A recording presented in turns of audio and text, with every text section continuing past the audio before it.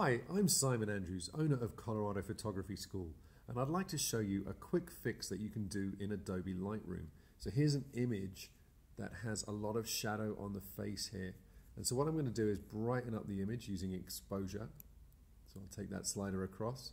When I take that over, notice this bright area of the image becomes too bright. And so I pull the highlights back.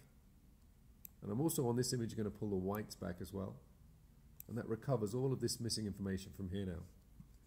So now I'm going to pull the shadows a bit brighter. I can brighten up the shadows a little bit. On this particular image, I can't go too far with the shadow slider because this isn't a RAW file, this is actually a JPEG. And JPEGs don't have the same amount of data available as a RAW file does. So just to show you the problem, if I pull that slider all the way to the top, it brightens up very nicely, but then when I zoom in, you can see this grainy area of the picture. It's certainly in the shadows, it looks worse. So I'm going to take that down a little bit and zoom back out. So I won't take the shadows too bright using the slider, but I would like her face to be a little brighter. So I'm going to use an adjustment brush. And the adjustment brush I can use in a specific area of the picture. To see where I'm working, I can click on show or hide the mask overlay. So show selected mask overlay, check that box. And now where I paint will show red, just like that. So that's where the effect will be applied.